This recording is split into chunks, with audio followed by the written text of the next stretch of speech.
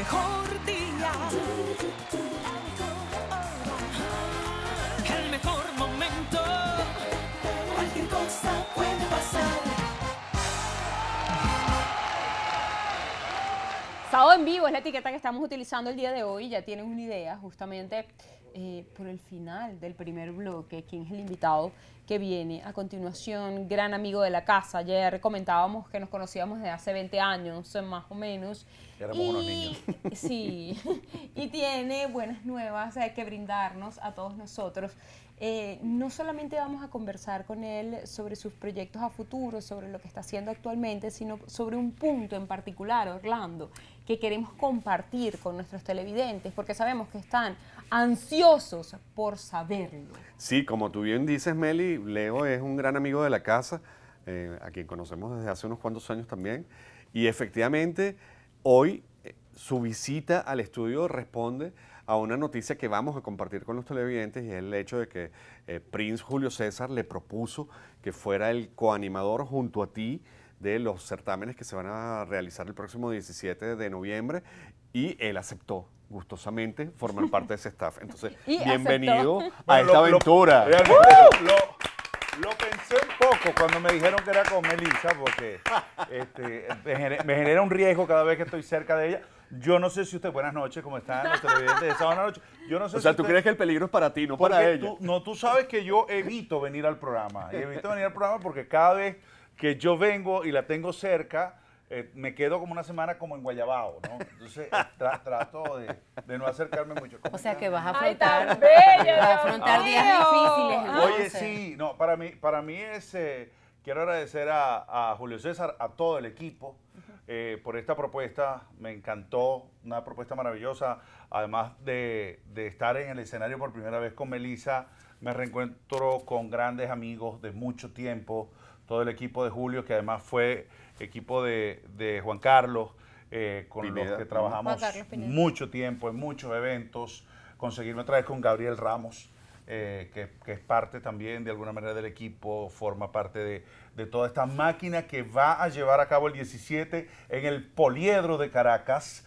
el evento de belleza tal vez con mayor proyección en la historia de los eventos de belleza, porque esa noche en el Poliedro se van a elegir nueve representantes, nueve jóvenes, entre muchachos y muchachas venezolanos, que van a ir a diferentes certámenes en el mundo entero llevando la bandera venezolana. Por primera vez se eligen nueve representantes de nueve franquicias en una misma noche y bueno, tenía que ser el escenario del Poliedro de Caracas. Tenía 10 años que no estaba en el Poliedro y con muchísimo gusto me uno a la, a la familia de esta gran noche, de este evento de Reyes y Reinas de Venezuela. ¿Y qué significa para ti volver al, te- al terreno de la belleza después de este eh, mm, programa diario que, tienes? Sí, eh, bueno, siempre el, el- tema de los certámenes se, se disfruta mucho este proceso, ¿no? De la noche, los ensayos, el vestuario, este, eh, pero eh, el, el día del, del espectáculo es un momento de, de mucha tensión por la responsabilidad que llevas. Son resultados, son opiniones, muchas veces tienes que eh, sal- salvar a, a una de las muchachas porque se quedan, sobre todo en el tema de la pregunta, sin parcializarte.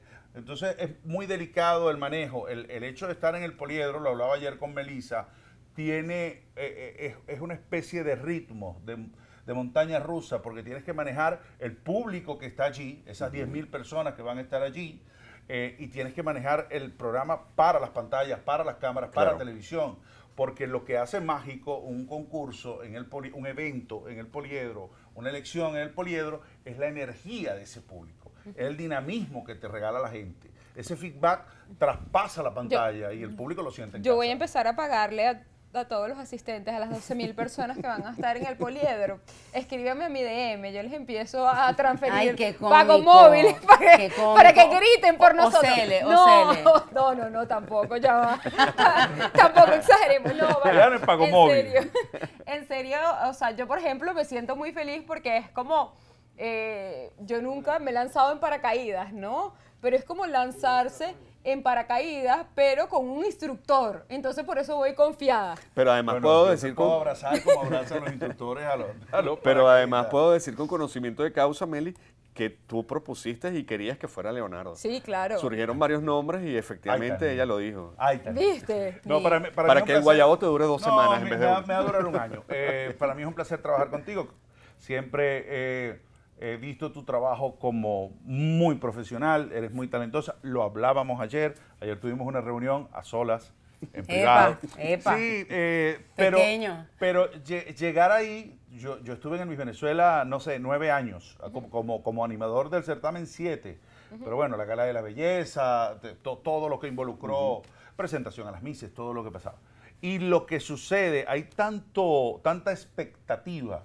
Sea, sola- solamente hablemos en esta oportunidad que son treinta y tantos participantes entre muchachos y muchachas, son treinta y tantas familias o treinta y tantos pueblos o ciudades que tienen los ojos puestos en esos chamos.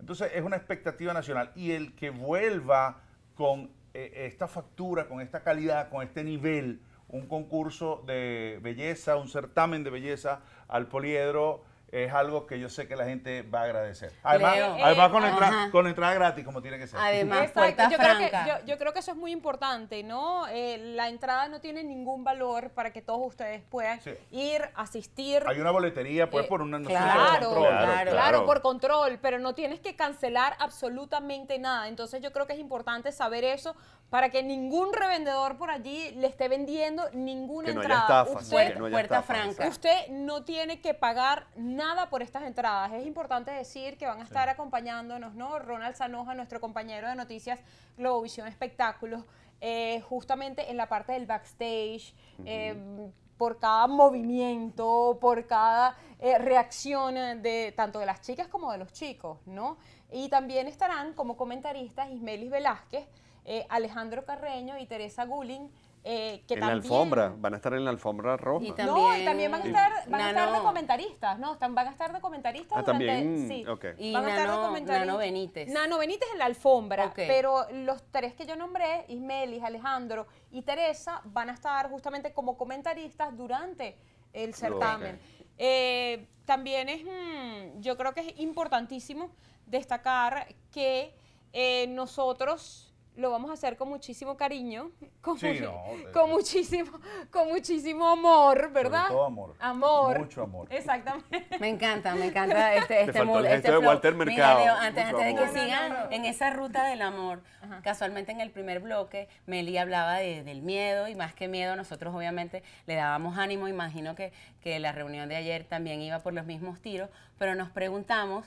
Tienes tantos años eh, en la conducción de, de eventos multitudinarios, si Leonardo Villalobos tiene algún ritual en especial o como la fecha va a estar tan pegadita al Día de la Virgencita de Chiquinquirá, casi que lo agarramos. Exactamente. Que puedas compartir con Melissa para que el nivel de, de nervios baje.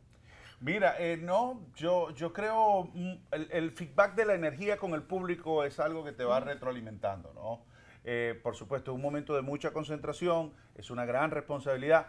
Este concurso y esta marca ha tenido un crecimiento exponencial, o sea, ha sido bárbaro cómo, Sí. cómo- cómo ha crecido la marca, cómo se ha consolidado eh, dentro del mundo de, de- de los certámenes de belleza y cómo cada año crece más. Entonces, estar allí, eh, que es la responsabilidad, yo siempre digo que no importa si hay 100 personas o 100 mil, la responsabilidad y el respeto es el mismo. Yo me encomiendo a Dios y a mi chinita y eh, a mí me ha funcionado toda la vida. Este, y además cuando uno tiene un equipo, sabemos los que están allí, sabemos el equipo de trabajo de producción, sabemos que está Prince, está Gabriel, el jurado, esto, todo lo que va, Osvaldo, este, voy a tener una compañera que es muy profesional, este, que eso te da susto, oye, no, no creas, a veces tú tienes un compañero que bueno, que no tiene tanta experiencia y entonces la mitad de lo que tú estás haciendo estás pendiente, cuidado, mosca, epa, ey, ps, eh, no, mira, no te, porque si tú salvas a tu compañero, el espectáculo va a quedar bien y tú te vas a ver bien. Claro. Me- ¿No? Es- Claro. Esa es mi filosofía de Claro, trabajo. es que me Entonces parece- me- me- Melissa me quita, me, me- me da un alivio porque sé que solamente vamos a necesitar la comunicación este, normal eh, y tengo una gran profesional al lado. Ay, que qué bello, Dios mío. Es que yo creo que el éxito, el éxito de cualquier programa depende de la forma en que se pueden cuidar los propios Claro, compañeros. Sí, claro. Pues no siempre pasa. No, no, Sí, no siempre Sabemos pasa. el medio en el que estamos. No siempre pasa, pero en esta ocasión es así. Además, un evento en vivo, un evento que maneja números, que maneja este, posiciones, que, que tiene que ir muy sincronizado con entradas, artistas, sale, desfile, viene. Este, Lo que eh, pasa es que yo siento que en este medio hay muchísimo ego, ¿no? Y, y Sí. justamente por eso, por sí. eso yo desde el primer momento siempre aposté por Leonardo, porque me parece, no, en serio, porque me parece que es una persona muy profesional en su trabajo, pero sin desprestigiar ni aminorar a quien tiene al lado y dejando en casa el ego, que yo creo que eso es lo más importante. Es que yo él, él creo- está para ayudar a todo el mundo, más bien eh, tiene palabras bonitas para todo el equipo. Eh, y eso y eso se agradece, Es que ¿no? yo Porque creo- tú aseguras. Yo creo, Meli, que si tú, si tú estás seguro de tu talento y de, tu ca- de tus capacidades, no tienes que sentirte amenazado por nadie que tengas al además, lado. esto es un trabajo. Claro. Se nos olvida que esto es un trabajo, que afortunadamente todos los que estamos aquí, todos los que están en las cámaras, tenemos la bendición de vivir, de alimentar a nuestras familias haciendo lo que nos gusta. Eso es una bendición. Eso hay que agradecerlo todos los días. Entonces, creo que eh, la mejor manera de agradecer es reconocer, es ayudar y entender que todos los que estamos aquí, cada uno de los que estamos acá a esta hora, casi a las 11 de la noche en vivo, estamos trabajando. Yo salí ahora y mi hija me dijo, estaba en mi casa con, con- con mis hijos, y la chiquita me dijo, ¿para dónde vas a trabajar? ¿A esta hora? Sí, mi amor, a esta hora. Porque es, es- es- es parte de lo que disfrutamos, de lo que hacemos. Entonces, mm, mm, es ese tema del ego, de pensar que uno es un superdotado o está por encima, es una cosa estúpida. No. Uno es un trabajador que afortunadamente ha logrado que el público, que es quien decide, acepte lo que uno hace y lo acepte bien. Total, bueno, yo Eh, hace no, no algunos sé si les parece que eh, eh, deja tu pregunta allí para que escuchemos un micro justamente de un orfebre trujillano. Su nombre es Alejandro Arraiz.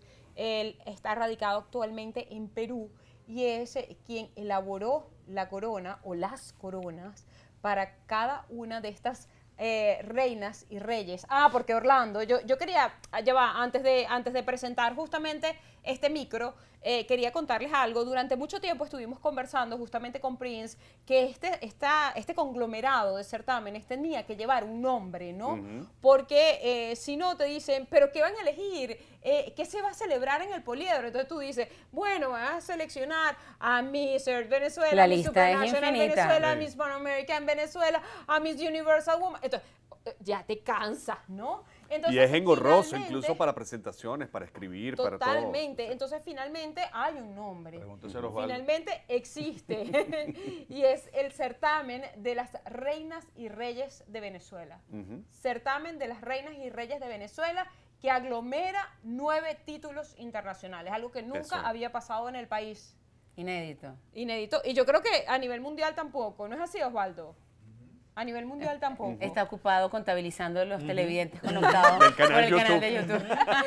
bueno, bueno, ahora sí, ahora sí, vamos a, vamos a ver justamente, estoy por esta cámara, vamos a ver justamente este micro eh, del diseñador de todas estas nueve coronas. No, no, mentira, mentira, discúlpenme. De las cinco coronas, porque cuatro son bufandas. Bueno.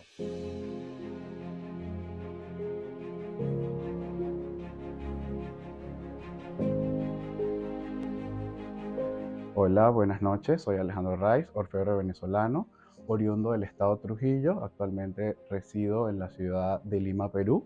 Cuento con más de siete años de experiencia creando joyas y coronas vanguardistas, otras inspiradas en infinitos movimientos artísticos. Eh, para mi corta edad he tenido la oportunidad de trabajar con infinitos concursos nacionales e internacionales. En esta oportunidad he realizado una corona joya para la organización Miss Supra Venezuela de la mano de su presidente, Prince Julio César, a quien de verdad agradezco mucho la confianza de darme esta labor, de crearle eh, esta oportunidad para esta edición. Es la corona, la cual está complementada por cristales Swarovski en color agua marina, tiene un exquisito baño de rodio y bueno, espero que sea grato para ustedes y que les agrade. Eh, gracias a Sábado de la Noche, a Globovisión y a todo el equipo de producción por permitirme este espacio donde me conocieron un poco más acerca de mi trabajo, mi trayectoria y bueno, acá para servirles.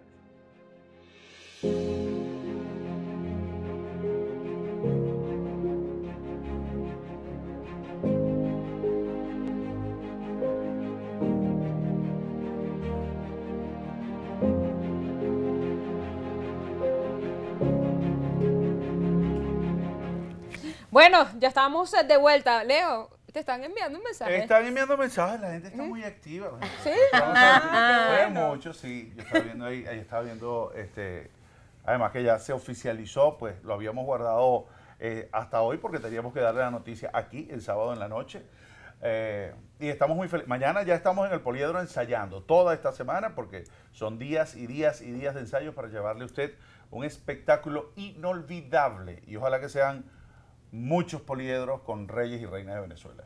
Yo puedo, yo puedo llevar así a mi, mm, a mi barra con una pancarta. Sí, claro, se vale. ¿Se vale? Hay gente que pone pancarta en el poliedro porque lleva su barra, hay gente que pone pancarta en los estadios, hay gente que, que paga gente para los aeropuertos, o sea, eso es... Sí. claro. Ah, yo sé de uno que pagó. No, yo no, yo no estoy diciendo. Hay gente que, hay gente que se gente manda lo- flores. Yo, Yo, yo, conozco, el de las flores, yo lo tengo. El de las flores, Oh, ¿verdad? muchacha, sí. Y yo que iba a decir, pana, tengo fe. Y le llegó, yo tengo fe, eso es el jueves, el evento es...